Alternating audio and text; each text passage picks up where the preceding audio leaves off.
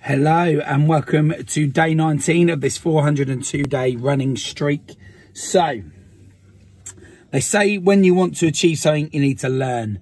And you need to learn by watching, observing, reading, listening to podcasts, whatever it is you do these days to learn, you got to do that. So, day 19 for me comes from, I'm in sunny Sheringham on the Norfolk coast at the moment.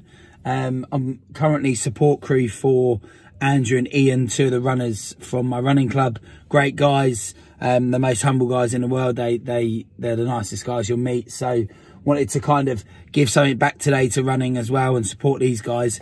So um, they started the race at 10 o'clock and I thought I'd come along and be their support crew and learn as much as I can from these guys um, because they're great runners as well. As far as my run goes today, it was earlier on, managed to get a couple of miles in, um, just ticking those legs over um, and getting in the zone ready for tonight. So we're going to be out all night on this little adventure around Norfolk, ending up in Great Yarmouth sometime tomorrow morning. So I've just seen them go through Sheringham.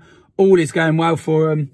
They seemed in great spirits. They said the beach wasn't too bad from Cly um, or Clay next to uh, on sea uh, down to Sheringham. So the beach wasn't too bad. So happy days seems to all be going well for them. So um, I'll be doing my run tomorrow, maybe early morning, maybe in the middle of the night to some of you. I don't know what I'll do.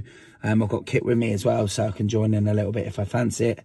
Um, but I'm not allowed to pace them or help them at all um, in terms of running with them, but I'm allowed to support them in the van. So um, I've got some bits, some spare clothes, etc. for them. So I'll keep you in the loop with what I'm doing. Go over to my Instagram if you want to see any more. Here we go. Boom.